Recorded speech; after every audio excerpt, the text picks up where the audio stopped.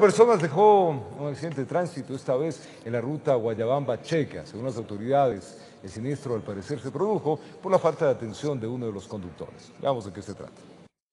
La falta de atención del conductor de este bus presumiblemente habría provocado el accidente de tránsito que dejó cuatro personas heridas. El hecho ocurrió al amanecer cuando una unidad de transporte público se impactó contra una volqueta que desde la noche anterior estaba parqueada en el costado de la vía por un problema mecánico. No, no se da cuenta el conductor de, de la presencia del, de la volqueta dañada y producto de eso hay una tipología de un estrellamiento. Tras el accidente, miembros de la Policía Nacional acudieron a la Panamericana Norte para asistir la emergencia. Las cuatro personas afectadas fueron trasladadas a la casa de salud más cercana para su valoración. Inmediatamente se les trasladó a los centros de salud de Yaruquí, donde tenemos conocimiento que ya las personas están siendo dadas del alta. El bus y la volqueta fueron llevados a los patios de retención vehicular para iniciar las investigaciones, mientras que los conductores rindieron sus primeros testimonios en el lugar donde se produjo la colisión. Tenemos al conductor de la volqueta que manifestó su versión de que efectivamente desde el día de ayer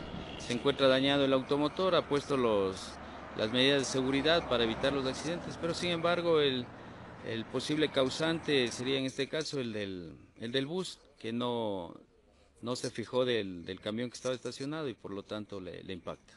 Las autoridades recuerdan a la ciudadanía la importancia de estar alertas al conducir, además de respetar los límites de velocidad para prevenir este tipo de siniestros, que en esta ocasión satisfactoriamente no dejó víctimas que lamentar, informó Sofía Vintimí.